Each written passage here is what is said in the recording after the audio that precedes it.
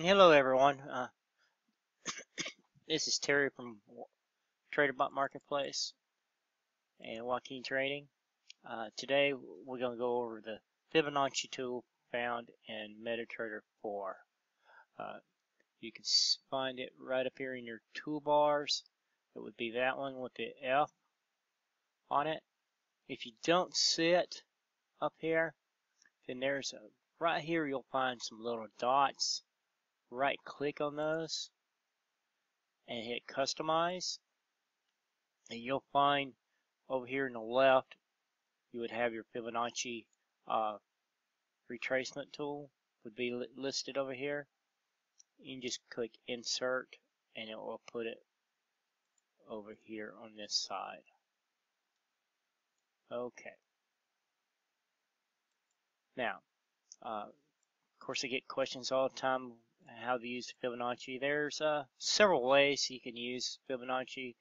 Uh, they um, a lot of people use them a lot of different ways. Uh, I'll show you the way I use them. Some people might not like that way. They may say, "Oh, that's wrong," but it's the way um, I do them. Okay, so let's get started here. Excuse me. Okay, um, way I do it if I'm looking for a retracement or a trade to get into, uh, I make my chart a little small like this. And then uh, you can find good tops and bottoms that way. So let's use this, this one right here. We'll use this point and this point, assuming that we were looking at the chart and it was like this. You know, uh, this was our low and that was uh, our high pretty much for, for that little time frame. Okay. So, you would just draw your Fibonacci from the low down here up here to the high that one. Now what I look for is for it to pull back to the 50% mark right here. Um, and then uh, expect a, uh, a pullback to that and then a continuation of that trend, of that downtrend there. You also expect if it goes to the 50% for it to go uh, pretty close to the 1618 of the extension here. So that's not in, that's not listed. Well, it might be, let's see if it's listed in defaults.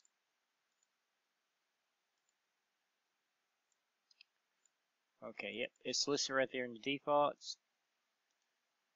So we're expecting, if it pulls back to the 50, we expect it to go to the 1618.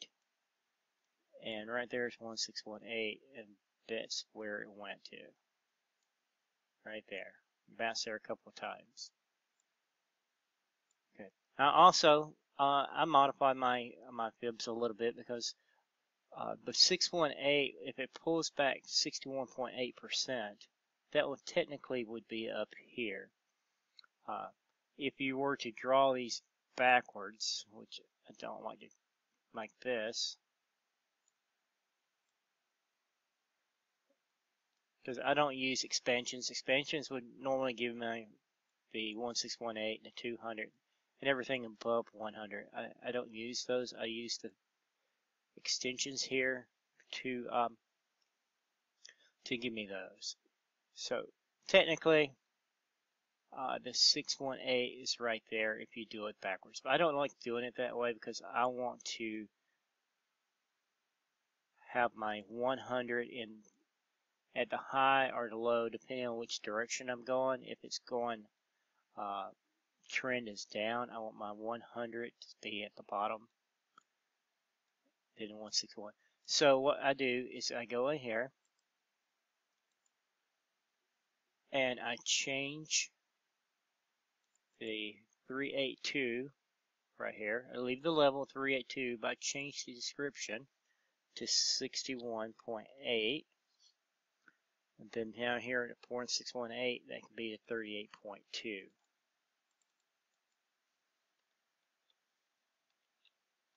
Okay. I also, on my levels, if you put a percent and a dollar sign, it will give you your the uh, price level right there.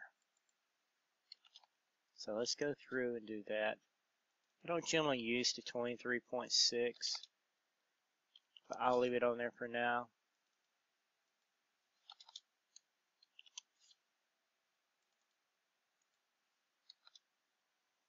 I don't really use the 38.2.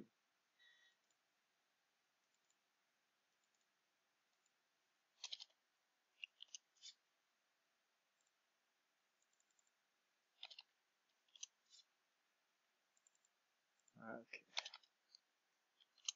And one more. Now I also use the 200, so we're going to add the 200 in here.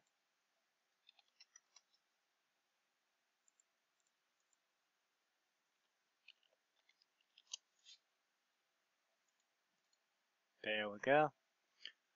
Now, you didn't make it quite to the 618 there. But like I said, it went to the 1618, which is what we were expecting. Uh, so let's go move on to the next, uh, the, an uptrend move here. Let's see what we can do. Okay, let's right click and if you hit Control Alt, Control A, sorry, it will highlight everything. Then you hit Delete. Okay, so let's go, assuming this big move right here on that day with a gap, just polar flips there. Let's go to the low. There we go. let's see, whoops, it pulled back to the 50 and it, and it went up and that is today. So I hadn't quite made it to the 100 yet. So let's, let's go back some. Just choose a day here. Okay. Assume this is our high up here. and This is um, our low.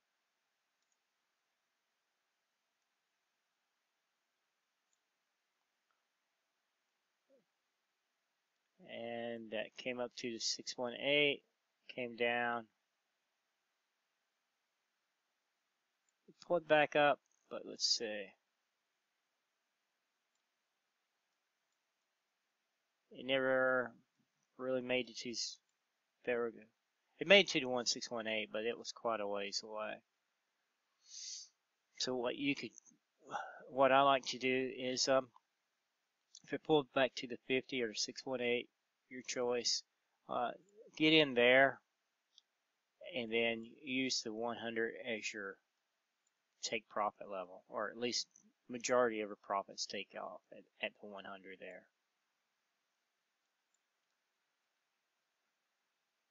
Okay. Some people ask me, how do you decide uh, when, what the low and the high are?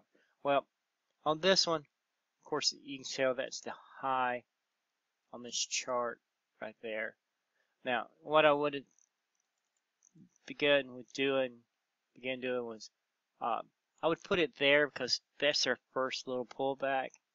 But if it hasn't made it back to the 50 or the 618, then that's uh, I don't consider that a of pullback, so of course you'll want to go on down here to that low. Let's see if we can find another one over here. Okay, here's a good one. That would be our high. Now I'm pulling back, again, there's there's no real pullbacks there. I can see that would pull back far enough to the 50%. So that's an uptrend. That's what you need to determine your trend first. That's my uptrend. Now let's see if it ever pulls back to the 50. Nope, see that that one uh, that one uh, you know I'll only give it a couple days at most on the one hour chart. Uh, so let's see, let's go into the next one. Here's a downtrend move. Now let's try this one first. Assuming that this was it over here. Uh, it never moved up. Yep, see it pulled back to the 50. You could have got in right there and wrote it down to 618. That would negate that particular fib. If you were looking again, okay, you would use that the pullback to the 50 bar. That was that's your point, your new pullback, or your new high. Nope. So then you just keep pulling this down until you find the low. And right here is going to be the low. There goes, pulls back to 618 and 50. Could get in there. And unfortunately you would have lost on that one. Because it would came back up here to the high and taking your stop loss out if that's what you're using for a stop. Okay, let's keep moving on. Let's go to a different pair. Let's go to pound yen.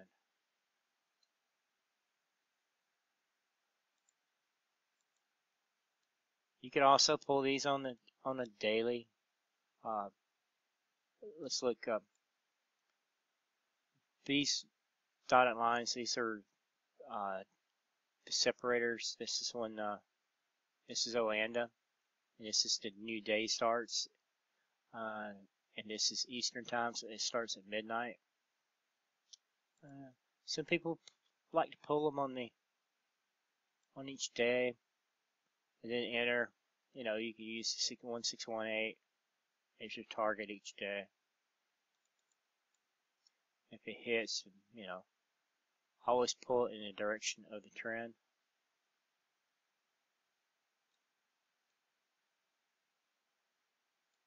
See it pulled back to 15618, came down.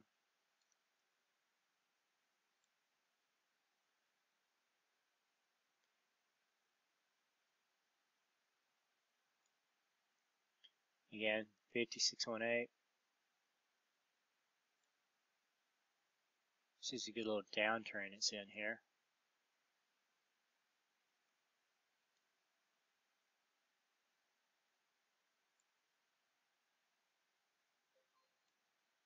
Same thing. Boom. You said it's our high. That for a of that day. And it never pulled back, but of course you could have gotten in the road that's on down.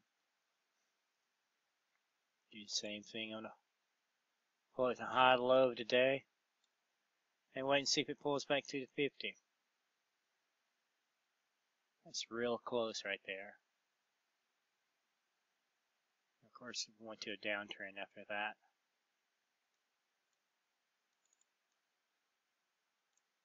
This is a downtrend.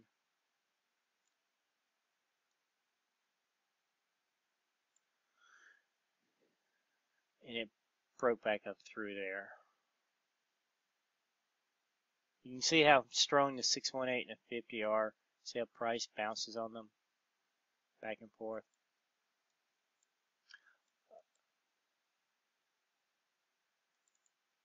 Okay.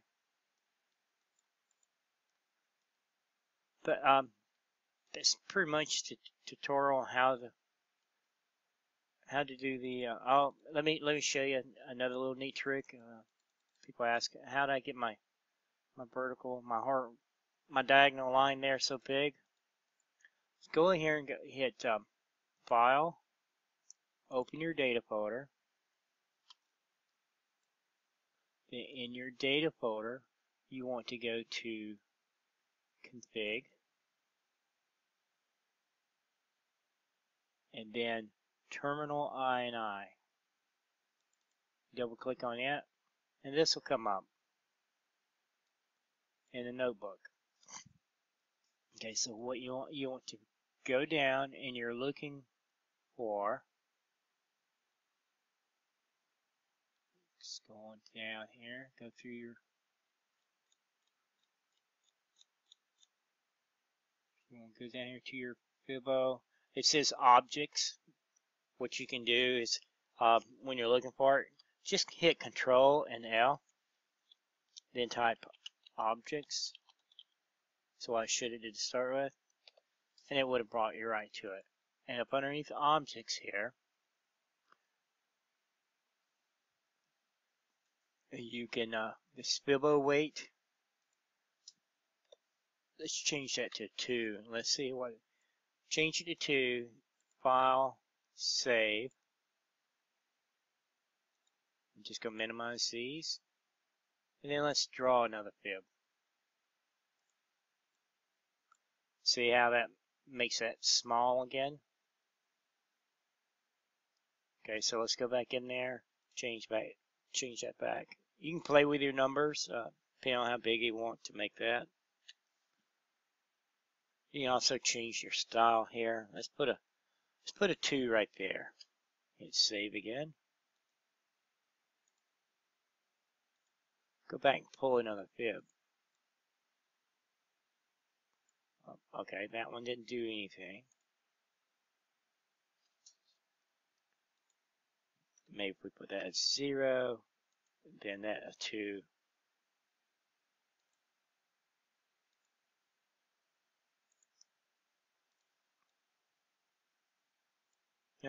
See it made it dotted. Make it a four and see what it does. So it depends on what you want it to look like. You can play around with it. See now, it's a little different. Again, I, I like mine big so I can see and get a hold of it. I won't drag it.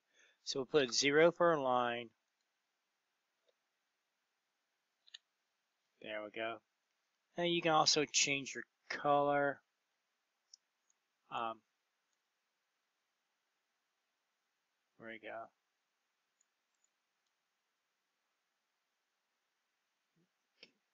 Let's see, below color 2. I'm not sure if you can just put the color in there or not. Oh, yep, must be able to. I don't know why it says blue there. Let's try something. Let's put it here. Green.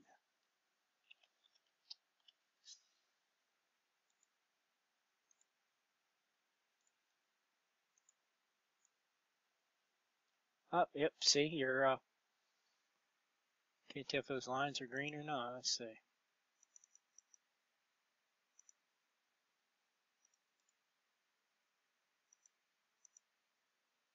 Nope, made it turn to black. Okay. It doesn't like that. Just hit Control Z and it'll go back to the color it was, then whatever it was. okay, you can see I've I've got my my descriptions, and these tell it to put in the the, uh, the price levels.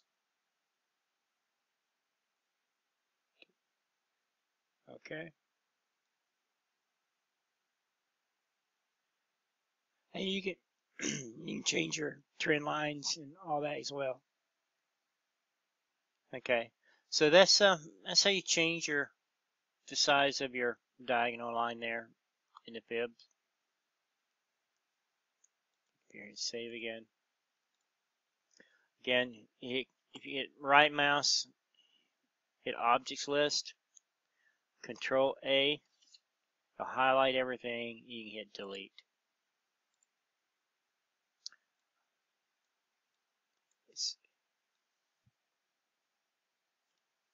that is pretty much uh, my film tutorial. Oh, you you can use it on uh, use films on a five minute chart. I love five minutes as well.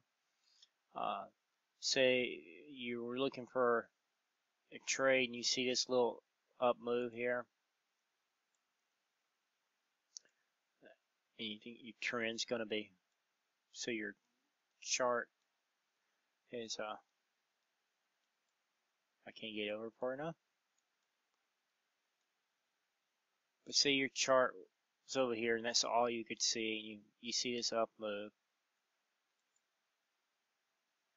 Pull your fib from there to there. And you see it came down to 50, pulled back, back to 618 and pulled up, then continued up. If you're using the 100, like I like to do, I mean, set 70 pips there.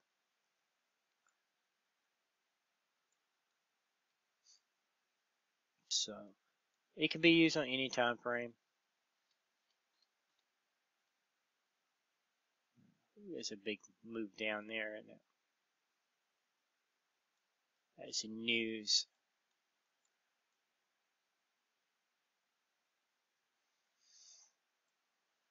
So that's how you use the uh, Fibonacci tool. You just find your your high and your low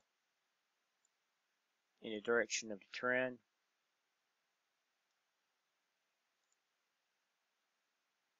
Using this and this because it's on the same day.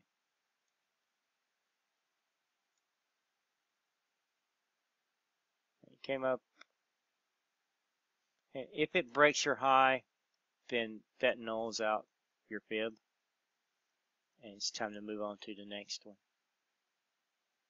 But see that one.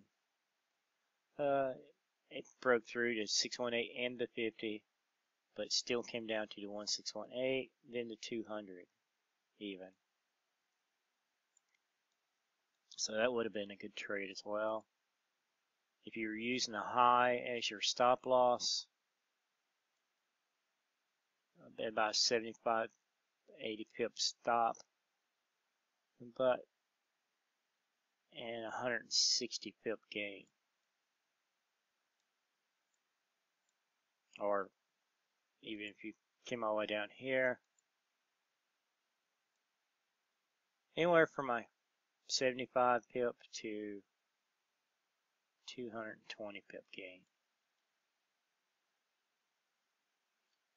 Anyway, that's my little Fibonacci tutorial. I uh, hope you guys liked it. Hope it was beneficial. Have a good day.